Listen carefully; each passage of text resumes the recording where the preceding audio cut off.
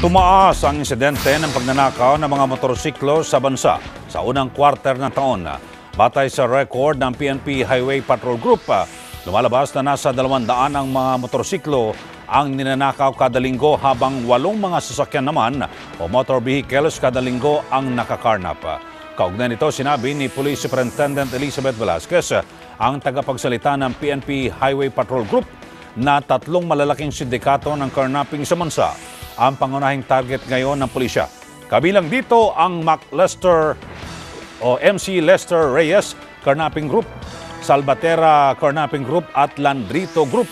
Pangunahing target na nakawin ng unang dalawang grupo ay motor vehicles habang mga motorsiklo naman ang punteriya ng Landrito Group.